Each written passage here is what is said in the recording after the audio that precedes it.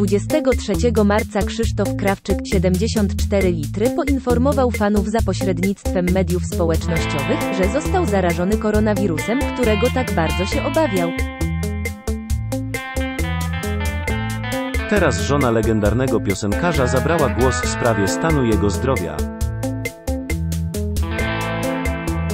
Jakież było zdziwienie fanów Krzysztofa Krawczyka, gdy na facebookowym profilu artysty przeczytali, że ich idol zmaga się z groźnym koronawirusem.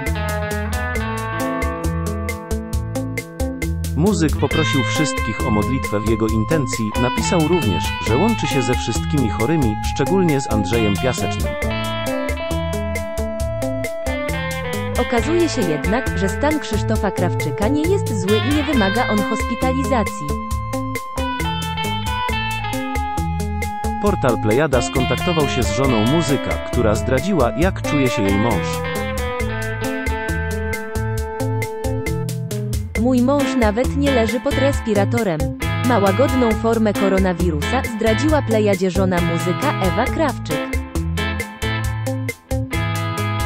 Fani Krawczyka mogą więc odetchnąć z ulgą, oby stan piosenkarza cały czas był stabilny.